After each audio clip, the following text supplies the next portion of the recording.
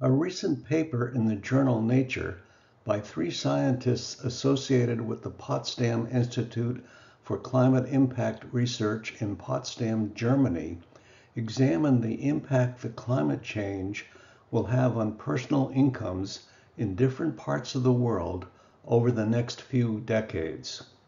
The results that they have obtained are both interesting and startling.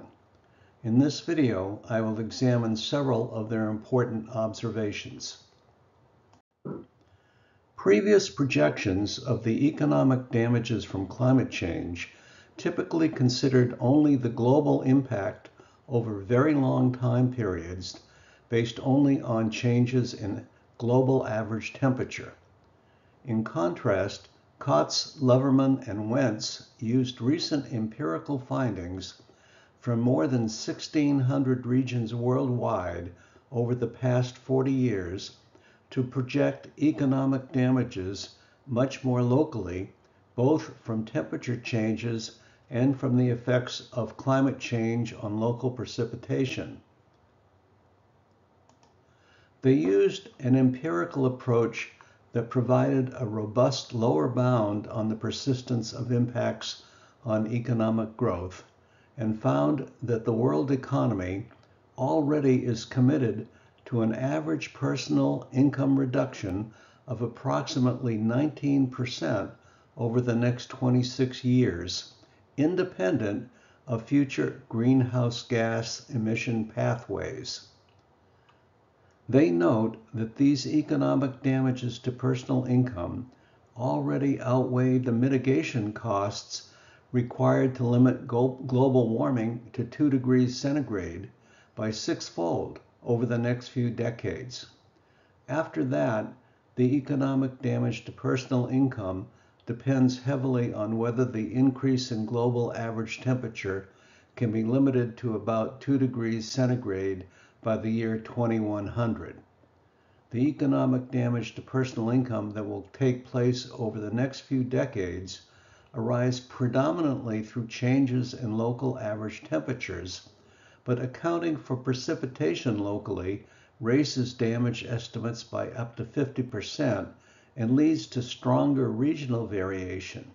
Interestingly, income losses are projected for all regions except those at very high northern latitudes, where increases in local average temperatures actually will result in income gains. The details of the calculations made by Kotz et al. are rather complicated. To keep this video short, I will focus only on the results of the calculations. This chart shows the average global impact on personal income for two different scenarios. The first scenario, called RCP 2.6, assumes that we will be able to limit global warming to about 2 degrees centigrade by the year 2100. The green and blue lines in this chart are for the RCP 2.6 scenario.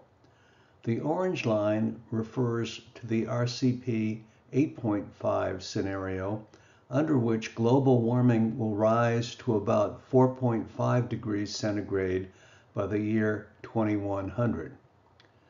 The RCP 8.5 scenario assumes that nothing additional will be done to limit the emission of greenhouse gases, which very likely is an unrealistic assumption. Note that the shaded areas in this chart show the uncertainty in the results obtained by Kotz et al. But focusing on the blue and red lines, we see that they don't differ much over the next few de decades. So under both emission scenarios, we can expect personal incomes to decline by about 15 to 20% in constant dollars, owing to global warming. Part of the de decline in personal income will come from the cost to achieve the limitation in greenhouse gas emissions, if any. The green line in the chart shows the cost to limit emissions sufficiently to keep global warming to about 2 degrees centigrade by the year 2100. Comparing the green line and the blue line, we see that the mitigation or emission control cost is only about one-sixth of the total impact on personal income from global warming. The rest is from other impacts of climate change on personal income. Those include things like loss of work days owing to severe weather events, etc. The blue and orange line in these charts have the same meaning as in the previous chart, except that the individual charts are for different regions of the planet. While they all are similar, if you look closely, you can see significant regional differences. The next chart will show these differences in much greater detail. This map shows in greater detail geographical estimates of the projected reduction in personal income by 2049 owing to climate change as obtained by Kotz et al. using the median or halfway values between the RCP 2.5 and the RCP 8.5 scenarios, with all climate variables included in the calculation. One conclusion that we can draw from this map is that many of the locations suffering the greatest percentage reductions in personal income are not in countries that produce the greatest amount of greenhouse gases. We know that the top five greenhouse gas emitting regions are China, the United States, India, the European Union, and Russia. And as we see, almost none of the geographic areas that are likely to be hit with the greatest percentage reduction in personal income are in those areas. I hope that you have found this video informative. If you have any comments or questions, please write them in the comments section of the video and I will do my best to respond.